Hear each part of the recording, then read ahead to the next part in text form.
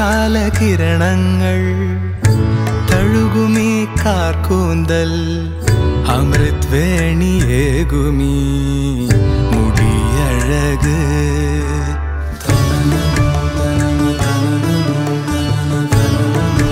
Amrit Veni hair elixir for women. Sahyadri പ്രോസസ്സിലൂടെ സ്ത്രീകൾക്കായി oestrogen hormone വ്യതിയാനങ്ങൾക്കനുസൃതമായി biotechnology പ്രകാരം engineering ചെയ്ത ഹെയർ എലിക്സർ. അമൃത് വേണി എന്നാൽ മുടിക്കുള്ള അമൃത്. Feel the freshness. Feel the softness. DQ 78 TFM Grade 1 Soap.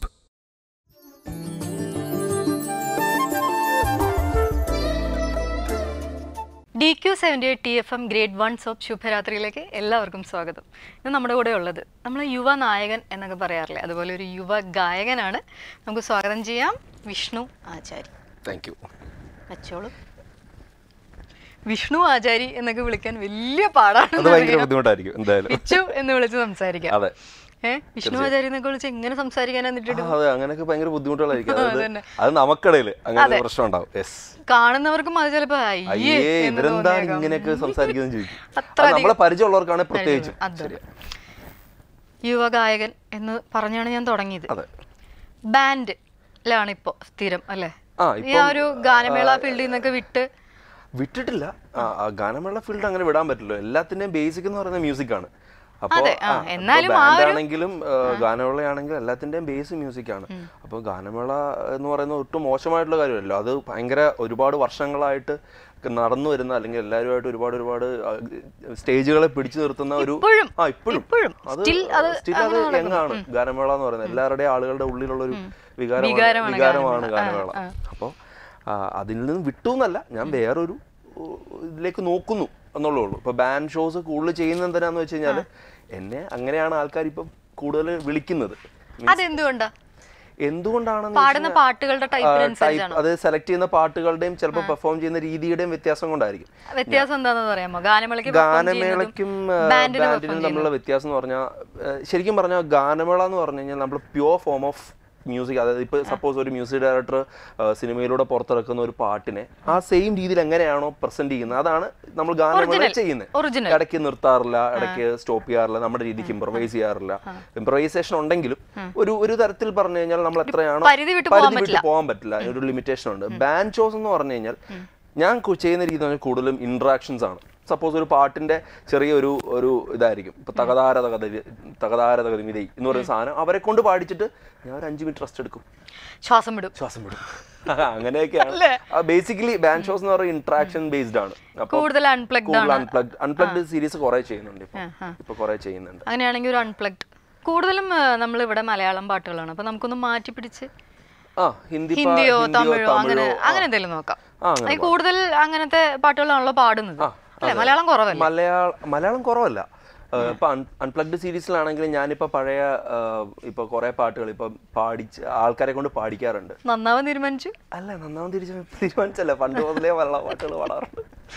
പക്ഷെ എന്നെ അങ്ങനെ ആർക്കും അറിയില്ല. മീൻസ് ഇപ്പൊ ചേച്ചി പറഞ്ഞില്ലേ നമ്മുടെ ഗാനമേളയിൽ നിന്നും ബാൻഡിലേക്ക് മാറിയപ്പോൾ ഉള്ള മേജർ വ്യത്യാസം എന്താണെന്നുള്ള കാര്യം. അപ്പോൾ ഒരു ബാൻഡിൽ ചെല്ലുമ്പോഴത്തേക്ക് നമുക്ക് ഇഷ്ടമുള്ള പാട്ടുകൾ പാടാം എന്നുള്ളതാണ് മെയിൻ ഒരു വ്യത്യാസം. എനിക്ക് തോന്നിയൊരു വ്യത്യാസം. പക്ഷേ ഗാനമേളയിലാകുമ്പോഴത്തേക്ക് നമുക്കൊരു സെറ്റ് ലിസ്റ്റ് ഉണ്ടാവും. ഓൾറെഡി ഇപ്പോൾ ഒരു ട്രൂപ്പിൽ പോയാലോ അല്ലെങ്കിൽ ഒരു ഒരു സ്റ്റേജ് ഷോയ്ക്ക് പോയാലോ അതിനകത്തൊരു സെറ്റ് ലിസ്റ്റ് ഉണ്ടാവും. ഇപ്പൊ ഈ പാട്ട് പാടിക്കും ഈ ഒരു പ്രോഗ്രാമിന് ആ സമയത്തെ മേജർ ഹിറ്റ് ആയിട്ടുള്ള പാട്ടുകളാണ് ഏറ്റവും വേണ്ടത്. അപ്പൊ ആ പാട്ടുകൾ മാത്രമേ പാടാവുള്ളൂ. അല്ലെങ്കിൽ ആളുകൾ എടുക്കില്ല. ആളുകൾ അക്സെപ്റ്റ് ചെയ്യില്ല എന്നൊരു തോട്ട് പ്രോസസ് ഉണ്ട്.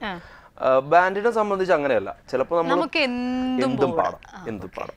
അങ്ങനെ ഒരു വ്യത്യാസം ശരിക്കും പറഞ്ഞു കഴിഞ്ഞാൽ ബാൻഡ് ഷോസിനുണ്ട്. അല്ല അത് നമ്മൾ നേരത്തെ പറഞ്ഞ അൺപ്ലഗ്ഡ് പാട്ട് പാടിയിട്ട് അടുത്ത വിശേഷങ്ങൾ ആയിക്കോട്ടെ. ഞാനൊരു ഹിന്ദിയോ തമിഴോ? ഓക്കെ. അപ്പം ചേച്ചി കൂടെ പാടുന്നുണ്ടോ? ഇല്ല. അതെന്ത് പരിപാടിയാ? ചോദ്യം ഉത്തരവൊക്കെ ഒന്നിച്ചായിരുന്നു. അതെന്ത് പരിപാടി ഇത് പാട്ടാ? നമുക്ക് ഇപ്പം ഞാൻ പറഞ്ഞു അൺപ്ലഗ്ഡ് ആണ് അതുകൊണ്ട് നമുക്ക് എന്തും പാടാം. എന്തും പാടാം. ഇപ്പം ഇവിടെയാണ് ഇപ്പൊ വേറെ പ്രത്യേകിച്ച് ഇൻസ്ട്രുമെന്റ്സോ കാര്യങ്ങളൊന്നുമില്ല. லைக் மேகம் பிறந்து வந்து மண்ணில் இறங்கி வந்து மார்பில் ஒளிந்து கொள்ள வாவா மார்பில் ஒளிந்து கொண்டால் மாறன் அன்பு வரும். கூந்தலில் ஒளிந்து கொள்ள வரவா? என் கூந்தல் தேவன் தூங்கும் பள்ளி அறையா? மலர் சூடும் வயதில் என்னை மறைந்து போவதுதான். முறையா? நினைக்காத நேரம் இல்லை காதல். ரதியே ரதியே உன் பேரை சொன்னால் போதும். இன்று வழிவிடும் காதல் நதியே. உன் சுவாசம் மூச்சில் உன் வார்த்தை என் பேச்சில் ஐந்தாறு நூற்றாண்டு வாழ்வோம் என் வாழ்வேவா மலர்களே மலர்களே இது என்ன கனவா? மலைகளே மலைகளே இது என்ன நினைவா? உருகியதே எனது உள்ளம் பெருகியதே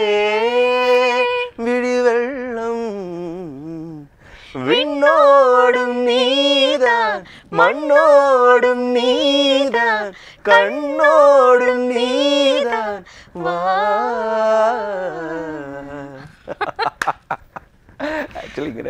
രണ്ട്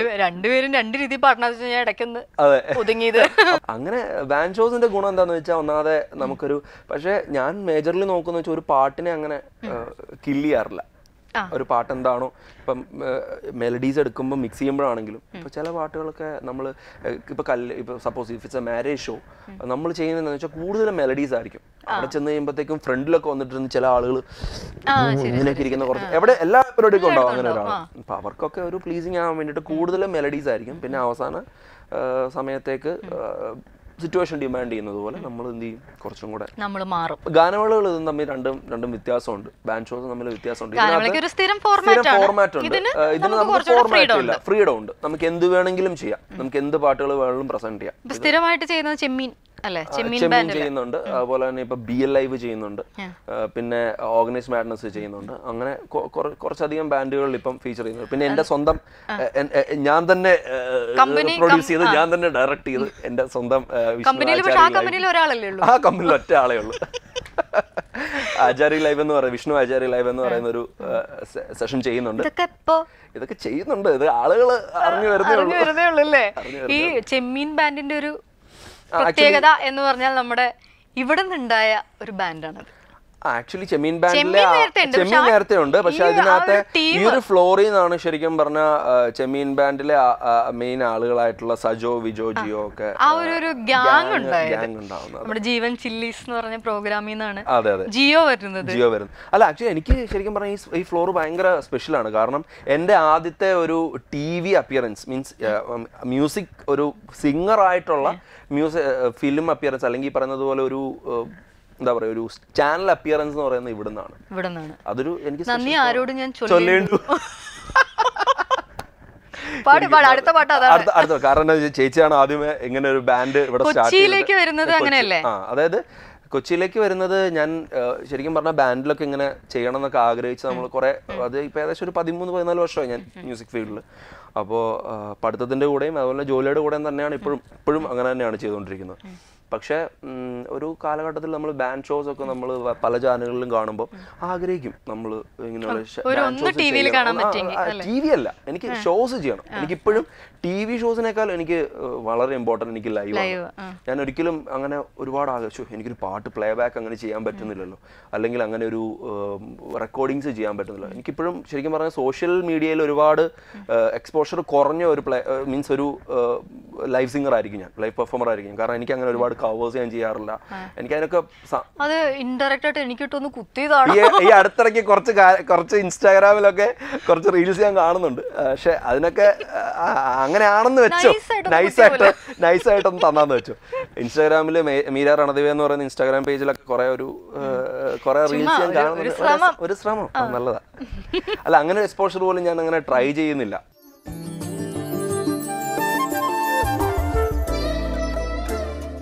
Feel the freshness of bathing with DQ Golden Radiant 78 TFM Grade 1 soap. ഞാൻ നിന്നെ കാണുന്ന സമയത്തും അത് കഴിഞ്ഞിട്ടും ഈ ഒരു ബാൻഡിലേക്ക് വരുന്നതും അല്ലെങ്കിൽ ഇങ്ങനെ ഈ ഗ്യാങ്ങിൽ നീ വേണം എന്ന് മനസ്സിൽ തോന്നിയതുമൊക്കെ ഒരു പാട്ടുണ്ട്.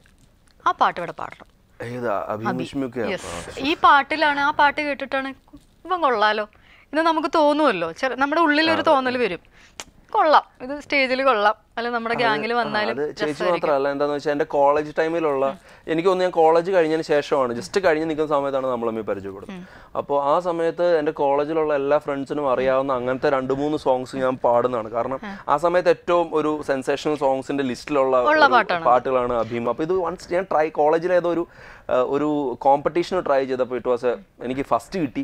അതിന്റെ കൂടെ എനിക്ക് ഒരുപാട് ഫെയിം കിട്ടി. പല കോളേജസിലും എന്നെ പറ്റി അറിയാൻ തുടങ്ങി. അങ്ങനെ നിൽക്കുന്ന സമയത്താണ് നമ്മുടെ ബാൻഡിലേക്ക് എനിക്ക് ഏഹ്, എല്ലാവരും കൂടെ കൂടി ചേച്ചിയും ഏഹ്, വിളിക്കുന്നത് അപ്പം അങ്ങനെ വന്നിട്ട് ഈ സ്റ്റേജിൽ ആദ്യമായിട്ട് ഞാൻ പെർഫോം ചെയ്യുന്ന സോങ്ങും അഭിമുഷ്മി കഥയാണ് അപ്പൊ അത് നമുക്ക് ഒന്നും കൂടെ ഇവിടെ വീണ്ടും വീണ്ടും ഈ വീണ്ടും. ഫ്ലോറിൽ തന്നെ Okay.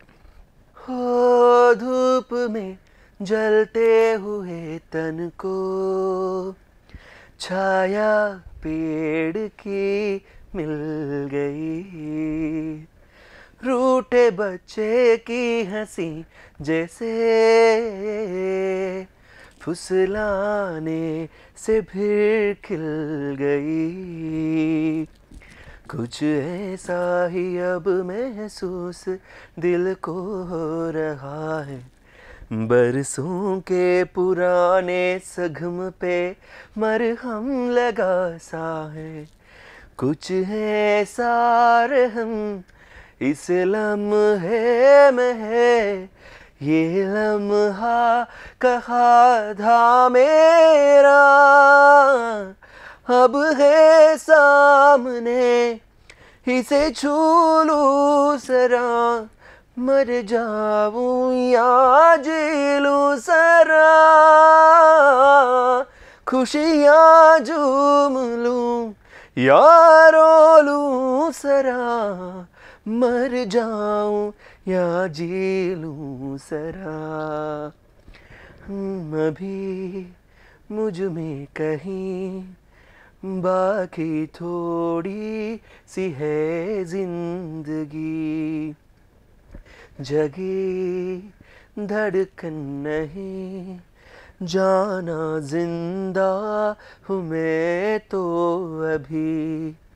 कुछ ऐसी लगन इस लम्हे में है ये लम्हा कहा था मेरा अब है सामने इसे चूलू सरा मर जाऊं या जी लूं सरा താങ്ക് യു അടിപൊളി ഈ- ടൈപ്പ് പാട്ടുകളാണോ? ഫാസ്റ്റ് നമ്പേഴ്സ് പാടുമ്പോഴും കൂടുതൽ നിനക്ക് കംഫർട്ടബിൾ ആയിട്ട് തോന്നിട്ടുള്ളത് ചേച്ചി അത് ബേസിക്കലി രണ്ടും രണ്ട് രീതികളാണ് കാരണം എന്താന്ന് അല്ല, വെച്ചാൽ എന്നാലും കംഫർട്ടബിൾ എനിക്ക് എപ്പോഴും ഫാസ്റ്റ് നമ്പേഴ്സ് ആയിരിക്കും. ഫാസ്റ്റ് നമ്പേഴ്സ് ആയിരിക്കണം. ഫാസ്റ്റ് നമ്പേഴ്സ് പാടുന്നതിന്റെ കാരണം എന്താന്ന് വെച്ചാൽ വൺസ് നമുക്കൊരു ഒരു നമ്മൾ ലൈവ് ആണല്ലോ പാടുന്നത്. അപ്പൊ ക്രൗഡുമായിട്ട് ഇന്ററാക്ട് ചെയ്യാൻ ഏറ്റവും എളുപ്പം ഫാസ്റ്റ് നമ്പേഴ്സ് ആണ്. പിന്നെ മെലഡീസുമായിട്ട് ഇന്ററാക്ട് ചെയ്യുമ്പോൾ ഒരു type of particular type of ആളുകൾ മാത്രമേ അതിനോട് റെസ്പോണ്ട് ചെയ്യുള്ളൂ. എല്ലാവർക്കും ഈ പറയുന്ന റിതം സെൻസ് ജന്മനാ ഉണ്ട് ഇപ്പം ചേച്ചിയാണെങ്കിലും എനിക്കാണെങ്കിലും ഈ കാണുന്ന ആളുകളാണെങ്കിലും എല്ലാവർക്കും ജനിക്കുമ്പോഴേ ഒരു റിതം സെൻസ് ഉണ്ട്. അത് ആളുകൾ ചിലപ്പോൾ അങ്ങനെ ഇല്ലാത്തോണ്ടായിരിക്കും. ഏ? ചേച്ചിക്ക് മാത്രം അതില്ലാത്തോണ്ടായിരിക്കും. അങ്ങനെ സംഭവം ഉണ്ടെന്ന് എല്ലാവർക്കും. സാധാരണ മനുഷ്യൻ ഉണ്ട്. അപ്പോൾ അങ്ങനെ ഒരു റിതം സെൻസ് എല്ലാവരുടെയും മനസ്സിലുണ്ട്. അപ്പോൾ അത് ജനറേറ്റ് ചെയ്യുന്നത് എപ്പോഴും ഇങ്ങനത്തെ സോങ്സ് കേൾക്കുമ്പോഴാണ്. ഇപ്പം സപ്പോസ് ഞാൻ പറയാം കലാഭവൻ മണിച്ചേട്ടന്റെ പാട്ടുകൾ ഇപ്പോഴും നമ്മൾ ബാൻഡിന്റെ ഷോസിന് പുറത്ത് പോകും കോളേജുകളിൽ പോകുമ്പോൾ പോലും. മണിച്ചേട്ടന്റെ പാട്ടുകൾ പാടണം എന്ന് പറയുന്ന ആൾക്കാരാണ്. പോകാൻ പറ്റില്ല നീ പോകൂലടാ എന്ന് പറഞ്ഞ ആളുകൾ വരെ ഉണ്ട് അപ്പോൾ അങ്ങനെയൊക്കെയുള്ള അത് കാരണം എന്താണെന്ന് വെച്ചാൽ അത് അങ്ങനെ കിടക്കുകയാണ് ആളുകളുടെ മനസ്സിൽ. അപ്പോൾ ഒരു പ്രോഗ്രാം എന്ന് പറയുമ്പോൾ അവർ എക്സ്പെക്ട് ചെയ്യുന്ന ആ ഒരു ടൈപ്പ് ഓഫ് പാട്ടുകളായിരിക്കും. അത് രണ്ടുണ്ട് കംഫർട്ടബിൾ ആണ്. മീൻസ് എനിക്ക് പറ്റാത്ത കുറച്ച് പാട്ടുകളുണ്ട്. ഇപ്പം സപ്പോസ് ഒരുപാട് ക്ലാസിക്കൽ ടൈപ്പ് സോങ്സ് നമുക്ക് പറ്റൂല. അത് ലെജൻസിന് മാത്രം പറഞ്ഞിട്ടുള്ള കാര്യമാണ്. അപ്പൊ അതൊക്കെ പാടാൻ പറഞ്ഞാൽ നമുക്ക് പറ്റില്ല പറ്റത്തില്ല. അപ്പൊ ഞാൻ അതിനകത്ത് ഒരു നെഗറ്റീവ് വശം ഞാൻ ചോദിക്കാം. നമ്മൾ പോസിറ്റീവ്സ് മാത്രം പറഞ്ഞ പോലെ നെഗറ്റീവ്സ് എവിടെയെങ്കിലും ഒക്കെ അങ്ങനെ ഒരു അവഗണന ഫീൽ ചെയ്തിട്ടുണ്ടോ? ഇവൻ ആ ടൈപ്പ് പാട്ടുകളൊന്നും പാടില്ല അതാണ് ഞാൻ ഈ പറഞ്ഞത്. ഇപ്പൊ ഗാനമേള സ്റ്റേജസിൽ എനിക്ക് കൂടുതലും പറ്റിയിട്ടുള്ള എനിക്ക് ഭയങ്കര ആഗ്രഹമാണ്. എനിക്ക് ചില പാട്ടുകളൊക്കെ കേൾക്കുമ്പോൾ നമുക്ക് പാടാൻ പറ്റും. നല്ല രീതിക്ക് എനിക്ക് പാടാൻ പറ്റുന്നു എന്ന് തോന്നുന്ന സോങ്സ് പ്രസന്റ് ചെയ്യാൻ ഒരു അവസരമില്ല. അവർ അവസരമില്ല. തരില്ല. പിന്നെ നമുക്ക് അങ്ങനെ ചോദിക്കാനും പറ്റില്ല. അത് അങ്ങനത്തെ ഒരു അങ്ങനത്തെ ഒരു അത് ടൈപ്പ് ഇപ്പൊ ഞാൻ പറയാം. ഒരിടത്ത് ഒരു ഗാനമേള പ്രോഗ്രാമിന് പോയി കഴിഞ്ഞാൽ അതിൽ ലീഡ് പാടുന്ന ഒരു പാട്ടുകാരനുണ്ടാവും. പുള്ളിക്ക് വേണ്ടി മാറ്റി വെച്ചിരിക്കുന്ന കുറച്ച് സെറ്റ് ഓഫ് സോങ്സ് ഉണ്ടാവും. പിന്നെ അവർക്കും തോന്നുന്നുണ്ടാവും ഇതേ ഫീലിംഗ് എനിക്ക് എന്തുകൊണ്ട് അല്ല ചില പല മെയിൻ സിംഗേഴ്സും ചോദിക്കുന്നുണ്ട് എനിക്ക് എന്തുകൊണ്ട് അടിപൊളി പാട്ട് പാടിക്കൂടാ? അങ്ങനെ പാടണം ആഗ്രഹമുള്ള പ്രധാന അത് മീൻസ് മെയിൻ ലീഡ് സിംഗേഴ്സ് ഉണ്ടല്ലോ നമ്മുടെ പ്ലേ ബാക്കിലെ മെയിൻ ലീഡ് സിംഗേഴ്സ് എനിക്ക് എന്തുകൊണ്ട് അങ്ങനെ പാടിക്കൂടാ? എനിക്ക് പാടണം ആഗ്രഹമുണ്ട് പക്ഷെ എനിക്ക് എന്തുകൊണ്ട് അത് പാടാൻ അവർ അവസരം തരുന്നില്ല എന്ന് ചോദിക്കുന്ന പല ആളുകളുണ്ട്. നമ്മുടെ നമ്മളും മീറ്റ് ചെയ്തിട്ടുണ്ടാവും അങ്ങനത്തെ ആളുകളെ. ശരിയല്ലേ? അപ്പോൾ അതൊക്കെ ഒരു വലിയ പ്ര- പ്രശ്നമാണ്. അപ്പോൾ ആ ഒരു ബൗണ്ടറി ഒന്നും നമ്മുടെ എന്തിനില്ല? പാൻ ഷോസിനില്ല കൂടിപ്പോയി കഴിഞ്ഞാൽ രണ്ട് പാട്ടുകാർ ഉണ്ടാവും. കൂടി പോയി കൂടിപ്പോയി കഴിഞ്ഞാൽ രണ്ട് പാട്ടുകാരുണ്ടാവും. അവർക്ക് നമ്മുടെ നമ്മൾ ആദ്യമേ ഒരു സെറ്റ് ലിസ്റ്റ് നമ്മൾ അയച്ചു കൊടുക്കും. ഞാൻ പാടാൻ പോകുന്ന പാട്ടുകൾ ഇതൊക്കെയാണ്. അപ്പോൾ എനിക്ക് എന്റെ കംഫർട്ടബിൾ സോണിൽ നിന്നുകൊണ്ട് എനിക്ക് എനിക്ക് പ്രസന്റ് ചെയ്യാൻ പറ്റുന്ന സോങ്സ് എനിക്ക് അതിൽ ചെയ്യാൻ പറ്റും. ഞാൻ ഗാനമേളെ മോശം പറയല്ല കേട്ടോ. അതിന് അതിന് അതിന്റെതായിട്ടുള്ള ഒരു ക്രൗഡ് ഉണ്ട്. മീൻസ് അത് വർഷങ്ങളായിട്ട് അതിന്റെ ഒരു ഫോർമാറ്റ് അങ്ങനെയാണ് അതായത് ബാൻഡ് മോനാണെങ്കിൽ ഹിന്ദി ബാൻഡ് ഷോസ് മോനാണെങ്കിൽ ഗാനമേള അതിന്റെ അപ്പനാണ്. അങ്ങനത്തെ ഒരു കൺസെപ്റ്റാണ് എന്റെ. അപ്പോൾ ഗാനമേളയിൽ നിന്ന് ബാൻഡ് ഡിഫറെന്റ് ആവുന്നത് അതിനകത്ത് കസ്റ്റമൈസ്ഡ് ആണ്. എല്ലാം കസ്റ്റമൈസ്ഡ് ആണ്. ഈവൻ കീബോർഡിന്റെ ആളുകൾക്ക് പ്ലേ ചെയ്യാനുള്ളതുണ്ടാവും. ഡ്രംസിന്റെ ആളുകൾക്ക് പ്ലേ ചെയ്യാനുള്ളതുണ്ടാവും. തുല്യ തുല്യ ഇമ്പോർട്ടൻസ് ഇമ്പോർട്ടൻസ് ആയിരിക്കും എല്ലാവർക്കും. പക്ഷേ ഗാനമേള നടക്കുന്നതെന്ന് വെച്ച് കഴിഞ്ഞാൽ ബാക്കിൽ നിൽക്കുന്ന ആളുകളെ ആരും മൈൻഡ് ഇല്ല. അതിനുള്ളിൽ ശരിക്കും പറഞ്ഞു കഴിഞ്ഞാൽ ഒരു ഗാനമേള അല്ലെങ്കിൽ ഒരു മ്യൂസിക് ഷോ ഒരു സ്റ്റേജ് ഷോ എന്നൊക്കെ പറയുന്നത് ശരിക്കും പറഞ്ഞാൽ എല്ലാവരുടെ. എഫേർട്ടാണ്. നമ്മൾ ഒരിക്കലും കാണാതെ പോകുന്ന എഫേർട്ടാണ് സൗണ്ട് എഞ്ചിനീയേഴ്സിന്റെ അത് സൗണ്ട് ഇല്ലെങ്കിൽ പുറത്തേക്ക് ഒന്നും കേൾക്കില്ല. നല്ലൊരു ഷോ ആണെങ്കിൽ അതിന് ഡെഫിനറ്റ്ലി ഒരു സൗണ്ടിന്റെ സൗണ്ട് എഞ്ചിനീയറുടെ ഒരു ഒരു പാട്ട് ഹൺഡ്രഡ് പെർസെന്റ് ഉണ്ടാവും. പക്ഷേ അതൊന്നും ആളുകൾ ഹൈലൈറ്റ് ചെയ്യൂല. ഹൈലൈറ്റ് ചെയ്യുന്നത് മുഴുവൻ പാട്ടുകാരന്റെ മാത്രമേ ഹൈലൈറ്റ് ചെയ്യുന്നുള്ളൂ. പക്ഷേ അതല്ല. അത് ശരിക്കും ഒരു സൗണ്ട് എഞ്ചിനീയറുടെ കഴിവുണ്ട് അതിനകത്ത് പാട്ട് പാടുന്ന ആൾക്കാരുടെ കഴിവുണ്ട് കീബോർഡിസ്റ്റ് ഡ്രംസ് പെർക്കഷൻ ഗിറ്റാർസ് എല്ലാവരുടെയും ഒരു കഴിവ് അതിനകത്ത് കാണിക്കാൻ പറ്റും. അതാണ് ബേസിക്കലി ഞാൻ ഗാനങ്ങളിൽ നിന്നും ബാൻഡിൽ നിന്ന് വന്നപ്പോൾ ഉള്ള ഒരു വ്യത്യാസം ഞാൻ കണ്ടത്. മാറുമ്പോൾ സന്തോഷം അതാണ്, എല്ലാവർക്കും ഈക്വൽ ഇമ്പോർട്ടൻസ് കൊടുക്കണം. പിന്നെ ഞാൻ ബേസിക്കലി ഫോളോ ചെയ്യുന്ന റൂൾ എന്താണെന്ന് വെച്ച് കഴിഞ്ഞാൽ നമ്മൾ പാടിയില്ലെങ്കിലും ഷോ നന്നാവണം. നമ്മൾ പാടിയില്ലെങ്കിൽ നമ്മുടെ നമ്മുടെ കോൺട്രിബ്യൂഷൻ ഇല്ലെങ്കിലും നമ്മൾ ചെല്ലുന്ന ഷോ നന്നാവണം. നമ്മൾ നന്നാവുക എന്നുള്ളതിനേക്കാൾ ടോട്ടലി നന്നാവുക അതാണ്. ഇപ്പം ഇപ്പം ടോട്ടലി നന്നാവുമ്പോഴത്തേക്കും നമ്മൾ അതിന്റെ ഒരു പാർട്ടാണെങ്കിൽ ഡെഫിനറ്റ്ലി നാളെ ആ ഒരു സംഭവം വളർന്നു കഴിഞ്ഞാൽ നമുക്കും അതിനൊരു ഗുണമുണ്ടാവും. അത്. അങ്ങനെ വേണം ചിന്തിക്കാൻ. ചിലപ്പോൾ അതുകൊണ്ടൊക്കെ ആയിരിക്കും ഞാൻ ഇങ്ങനെ ഒരു എന്താ പറയുക ലൈവ് ഷോസിലായിട്ട് മാത്രം ഇങ്ങനെ നിന്ന് പോകുന്നത്. ലൈവ് ഷോസ് ആണ് എനിക്ക് താല്പര്യം. പണ്ട് മുതലേ സ്റ്റേജിൽ നിൽക്കണം എന്നൊരു താല്പര്യമാണ്. ഇപ്പൊ ചിലരൊക്കെ പറയില്ലേ സ്റ്റേജിൽ നിന്നങ്ങ് മരിച്ചാൽ മതി തട്ടേ കയറി മരിക്കണം. തട്ട കയറി മരിക്കണം. അങ്ങനെ അതല്ല കേട്ടോ വെറുതെ പറഞ്ഞു ജോക്കിങ് പക്ഷെ അങ്ങനത്തെ ഒരു ഫീലാണ് എനിക്ക്. എപ്പോഴും ലൈവ് ഷോസ് ചെയ്യുന്നതിലാണ് എനിക്ക് താല്പര്യം.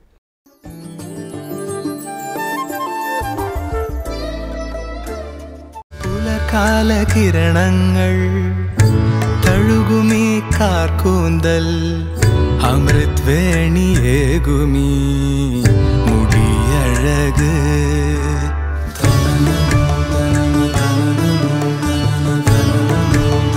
Veni hair elixir for women നേരത്തെ നമ്മൾ സംസാരിച്ച പോലെ എപ്പോഴെങ്കിലും ഒരു സ്റ്റേജിൽ ഈ പാട്ട് എനിക്ക് പാടാൻ പറ്റിയെങ്കിൽ എന്ന് തോന്നിയൊരു പാട്ടുണ്ടെങ്കിൽ അതിപ്പോ ഇവിടെ പാടാം.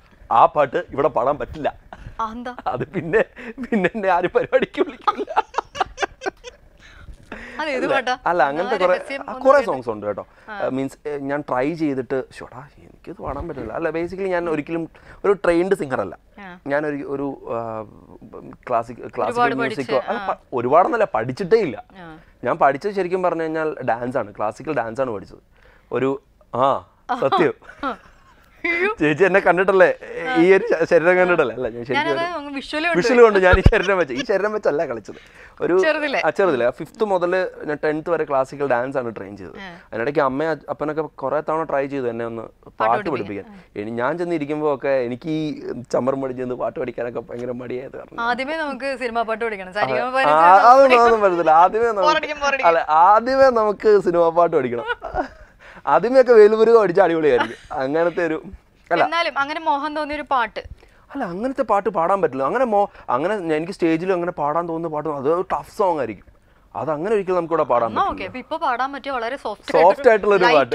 ലൈറ്റ് ആയിട്ടുള്ള ഒരു പാട്ട്. രാത്രി കേട്ടിരിക്കാൻ പറ്റിയത്. ഓക്കെ. അത് എനിക്ക് അങ്ങനത്തെ കേട്ടിരിക്കാൻ കൂടുതൽ ഇഷ്ടം ഇളയരാജ മ്യൂസിക് ഒക്കെയാണ്. ഇളയരാജ എയർ റൊമാന്റെ ഒക്കെ മെലഡീസ് ഒക്കെയാണ്. അപ്പം അതിന്റെ അകത്ത് എനിക്കും എന്റെ വൈഫിനും ഇഷ്ടപ്പെട്ട സോങ്ങാണ് പറയാം. പാടാം. உண்டான காயமெங்கும் தன்னாலே மாறி போன மாயம் என்ன பொன்மானே பொன்மானே இந்த காயமான போதும் என் மேனி தாங்கிக் கொள்ளும் உந்தன் மேனி தங்காது செந்தேனே. இந்த காதல் என்னவென்று சொல்லாமல் இங்க எங்க அழுக வந்தது. உந்தன் சோகம் என்னை தாக்கும் என்னென்றும் போதும் வந்த அழுக நின்றது. மனிதன் உணர்ந்து கொள்ள இது மனிதர் காதல் அல்ல அதையும் தாண்டி புனிதமானது. அபிராமியே தாலாட்டும் சாமியே நான் தானே புரியுமா? சிவகாமியே சிவரில் நீயும் பாதியே அதுவும் உனக்கு புரியுமா? சிவலாலி லாலியே லாலி லாலியே அபிராமி லாலியே லாலி லாலியே ஓஹோ கண்மணி அன்போடு காதலன் நான் எழுதும் கடிதமே. பொன்மணி உன் வீட்டில் சௌக்கியமா? நான் இங்கு சௌக்கியமே. അടിപൊളി. ഇത് രസമൊക്കെ ആയിട്ടിരിക്കാൻ ഇങ്ങനെ. അല്ല അത് ഞാൻ നേരത്തെ പറഞ്ഞത് സോങ്സിന്റെ പ്രത്യേകതയാണ്. അത് പാടാൻ അറിയാവുന്ന അത്യാവശ്യം കുഴപ്പമില്ലാതെ പാടുന്ന ആര് പാടിയാലും ആ പാട്ടുകൾക്ക് ആ പാട്ട് ആ പാട്ടുകൾക്കൊക്കെ ഒരു ഗുണം ഉണ്ടാവും ഡെഫിനറ്റ്ലി നമ്മൾ വരുന്നത് എന്തിലേക്കാന്ന് വെച്ചാൽ നമ്മുടെ ഫാമിലി ഫാമിലി ഇതിനു മുമ്പ് ശുഭരാത്രിയിൽ വന്നപ്പോ ഫാമിലി ഫാമിലിക്ക് മുമ്പ് വന്നു. ഇപ്പൊ ഇപ്പൊ ഭാര്യയുമായി ഭാര്യയുമായി ഡിഫറൻസ് ആണ്. ഭാര്യയുമായി ഒരു കുട്ടിയുമായി. എന്താണ് ആ ചേഞ്ച് ചേഞ്ച് ഭയങ്കര ഡിഫറെന്റ് ആണ് കേട്ടോ. കാരണം നമ്മൾ അന്നുണ്ടായിരുന്ന ഒരു ഒരു വീക്ഷണ കോണം എന്നൊക്കെ പറയില്ലേ? അതുപോലെ അല്ല ഡെഫിനറ്റ്ലി ഒരു നല്ല ചേഞ്ച് ആണ്. നല്ല ചേഞ്ച് ആണ്. കാരണം പറഞ്ഞു വന്നപ്പോ ഞാൻ ഈശ്വര ഇല്ല ഇല്ല അങ്ങനെയൊന്നുമില്ല. എന്താന്ന് വെച്ചാൽ നമ്മൾ അത് നമ്മൾ ഫാമിലിനെ അങ്ങനെ കാണുന്നു എന്നുള്ളതിനെ പോലെ ഫാമിലിനെ ഒരു ബേർഡനായി കണ്ടു കഴിഞ്ഞാൽ പിന്നെ അതൊരു ഭയങ്കര ബുദ്ധിമുട്ടാണ്. പക്ഷേ ഇത് നമ്മൾ എൻജോയ് ചെയ്യണം. അതുപോലത്തെ നമ്മളിങ്ങനെ ഈഗർലി വെയിറ്റിംഗ് ആണല്ലോ ആ ഫാമിലി ലൈഫിന് വേണ്ടിയിട്ട്. അപ്പോൾ ചേഞ്ച് വളരെ അവനാണെങ്കിലും കുറേയൊക്കെ ഭയങ്കര ആക്റ്റീവാണ് ഹൈപ്പർ ആക്റ്റീവ് ആണ് ആൾ ഒരു നേരെ അടങ്ങിയിരിക്കില്ല. ഫുൾ ടൈം ഇങ്ങനെ കറങ്ങി കറങ്ങിയിരിക്കും. ധ്രുവ എന്നാണ് പേര്. അപ്പോൾ അങ്ങനത്തെ ഒരു ആ വൈഫിന്റെ പേര് ശ്രുതി. ശ്രീ എന്നാണ് വിളിക്കുക. വൈഫിന്റെ പേര് ശ്രുതി. അപ്പോൾ രണ്ടുപേരും ഇങ്ങനെ അവളും ആക്റ്റീവാണ് ആണ് ഇവനും ആക്റ്റീവ് ആണ്. അപ്പൊ രണ്ടുപേരും കാരണം ഫുൾ ടൈം ബഹളമാണ് രണ്ട് മക്കളാണ് ആ രണ്ട് രണ്ട് പിള്ളേരാണ് ശരിക്കും. ചെറുതിനെ കൊണ്ട് പിന്നെ സമാധാനമുണ്ട്. മൂന്നതിനെ കൊണ്ടാണെങ്കിൽ ഒരു സമാധാനമില്ല ഫുൾ ടൈം ബഹളം. ഒച്ചയും ബഹളം എടുത്ത് അത് വഴി അത് വഴി കറങ്ങി നടക്കും. രസമാണ്. അങ്ങനെ അങ്ങനെ കാണുന്നതുകൊണ്ട് ഭയങ്കര രസമാണ്. ഫാമിലി ഭയങ്കര ഹാപ്പി ആയിട്ട് പോകുന്നു. വേറെ പ്രശ്നങ്ങളൊന്നുമില്ല. അതാണ് ഫാമിലി ലൈഫ് അങ്ങനെ പോട്ടെ. ഫാമിലി ലൈഫും ബാൻഡും ഇനി വരാൻ പോണ എല്ലാ പ്രൊജക്ട്സും എല്ലാത്തിനും ഞാനും കൂടെ ഉണ്ടാവും അതെ അതെ അതെ. അല്ല അത് അതങ്ങനെയാണ് അങ്ങനല്ല മറ്റേ പ്രൊപ്പോഷണൽ അങ്ങനെയല്ല ഡയറക്ട്ലി പ്രൊപ്പോഷണലാണ് ഞങ്ങൾ ആക്ച്വലി ഓഡിയൻസ് അറിയാവോന്നറിയില്ല. എന്റെ ആ, സ്വന്തം ചേച്ചി തന്നെയാണ് മേരി ചേച്ചി. അപ്പോൾ എന്റെ എല്ലാ കാര്യങ്ങളിലും മീൻസ് കല്യാണം അതേപോലെ തന്നെ കുട്ടി ഉണ്ടായ സമയം അത് മാത്രമല്ല ഡേ ടു ഡേയിൽ ഞാൻ ഏറ്റവും കൂടുതൽ ആൾ മീൻസ് ഔട്ട്സൈഡ് മൈ ഫാമിലി എന്റെ ഭാര്യയോടും കുഞ്ഞോടും അമ്മയോടും അച്ഛനോടും സംസാരിക്കുന്ന ഔട്ട്സൈഡ് ഒരാളോട് സംസാരിക്കുന്നുണ്ടെങ്കിൽ അത് മേരി ചേച്ചിയോട് ആയിരിക്കും. നമുക്ക് വൈൻഡപ്പ് ചെയ്യാൻ സമയം. കൂടുതൽ ഞാൻ കൂടുതലൊന്നും പറയണ്ട. കൂടുതൽ എന്നെ. ഓക്കെ. ശരി ശരി ഓക്കെ. അപ്പൊ വീണ്ടും വരാം. അടുത്ത പ്രൊജക്ട്സ് ഒക്കെ ആയിട്ട് വീണ്ടും വരും. വിളിക്കും. ജീവൻ ടിവിയുടെ സ്വന്തം ഞാൻ പറഞ്ഞല്ലോ എനിക്കിതൊരു ഹോം കമ്മിങ് ആണ് ശരിക്കും ഒരു ചാനലിലേക്ക് എനിക്ക് ചാനലിലേക്ക് വരുന്ന പോലെ തോന്നുന്നത് നമുക്ക് നമ്മുടെ സ്വന്തം വീട്ടിൽ ഇരുന്ന് സംസാരിക്കുന്ന ഒരു ഫ്രീഡവും കാര്യങ്ങളൊക്കെയാണ് എനിക്ക് ഇവിടെ ഫ്ലോറിൽ സോ മച്ച് നമ്മുടെ പ്രേക്ഷകരോട് എന്താ പ്രേക്ഷകരോട് പറയാനുള്ളത് എന്താണെന്ന് വെച്ച് കഴിഞ്ഞാൽ ബേസിക്കലി ഇപ്പോഴത്തെ ഒരു കൊറോണ സിറ്റുവേഷൻസ് ഒക്കെ കഴിഞ്ഞിട്ട് ഈ കലാകാരന്മാരോടുള്ള ഒരു ആറ്റിറ്റ്യൂഡ് ഭയങ്കര കൊറോണ സമയത്ത് കേട്ടോ കലാകാരന്മാർക്ക് കുറേ ബുദ്ധിമുട്ടുകൾ അനുഭവിക്കുന്ന കുറേ ആളുകളുണ്ട്. പക്ഷെ അത് കാണാൻ ആരും ഉണ്ടായിട്ടില്ല. അപ്പോൾ ആളുകളെ എന്റർടൈൻ ചെയ്യുന്നവരാണ് കലാകാരൻ. ശരിയല്ലേ? ഒരാൾ ഒരു സ്റ്റേജിൽ നിന്ന് ഒരു കാര്യം പെർഫോം ചെയ്ത് ആളുകളെ എന്റർടൈൻ ചെയ്യണമെന്ന് അയാൾ ഹീസ് ഹിംസെൽഫ് ഈസ് ഗോഡ് ഇപ്പോൾ ബാക്കിയുള്ള കൊറോണ കഴിഞ്ഞതിന് ശേഷം ഒരുപാട് ഒരുപാട് ഇതൊക്കെ കഴിഞ്ഞല്ലോ. മീൻസ് ഒരുപാട് സ്ഥലങ്ങൾ ഓപ്പൺ ആക്കി. അതേപോലെ തന്നെ നമ്മുടെ പ്രോഗ്രാംസിനും റെസ്ട്രിക്ഷൻസ് വരുത്താതെ എന്തുകൊണ്ടൊരു പബ്ലിക് ഫംഗ്ഷന് മ്യൂസിക് ഷോ മാത്രം ഒഴിവാക്കണം? ബാക്കിയെല്ലാം നടക്കുന്നുണ്ടല്ലോ. അപ്പം ഇത് നടക്കട്ടെ. അപ്പം കലാകാരന്മാർക്ക് വേണ്ടിയിട്ടാണ് സംസാരിക്കാനുള്ളത് ബേസിക്കലി ഈ കൊറോണ കഴിഞ്ഞു. കഴിഞ്ഞില്ല. മീൻസ് ഒന്ന് ഇതായിട്ട് വരുന്നു. പിന്നെ ഇപ്പോൾ റൈസ് അപ്പ് ആവുന്നതെന്ന് കേട്ടു. അതിനനുസരിച്ചുള്ള റെഗുലേഷൻസ് വരുത്തുമ്പോൾ എല്ലാവർക്കും റെഗുലേഷൻസ് വരുത്തുക. അല്ലെങ്കിൽ എല്ലാവർക്കും ഒരുപോലെ ട്രീറ്റ് ചെയ്യുക. കലാകാരന്മാരെയും ട്രീറ്റ് ചെയ്യുക. ബിക്കോസ് ഞാൻ നേരത്തെ പറഞ്ഞ പോലെ തന്നെ കലയാണ് ദൈവമാണ്. അപ്പോൾ നമുക്കൊരു പാട്ട് പാടി അവസാനിപ്പിക്കാം. ഓക്കെ. നമ്മൾ നമ്മൾ ഒന്നിച്ച് പാടിയില്ലല്ലോ. പാടി രണ്ടുപേരെയും കണ്ട് പാടി. നമ്മൾ ഒരുമിച്ച് പാടുന്ന കുറെ സിറ്റുവേഷൻസ് ഉണ്ട്. ഓക്കെ അപ്പൊ രണ്ടുപേരെയും രണ്ടുപേരും കൂടെ നമ്മൾ. ഒന്നിച്ച് പാടി. നമുക്ക് വൈൻഡപ്പ് ഓക്കെ? മേലെ പൂമല താഴെ തേനല കാറ്റേവാ പാലപ്പൂ കനിക്ക് പളുങ്ക് തോൽക്കും നിലാവിൻ മഞ്ചലിൽ. കാറ്റേവാ നിവാ നിവാ ഓക്കെ അപ്പോൾ thank you thank you D Q ശുഭരാത്രിയുടെ ഇന്നത്തെ എപ്പിസോഡ് ഇവിടെ അവസാനിക്കുകയാണ്. വീണ്ടും പുതിയൊരു അതിഥിയും കൂടുതൽ വിശേഷങ്ങളുമായിട്ട് അടുത്ത ദിവസം കാണാം. ശുഭരാത്രി.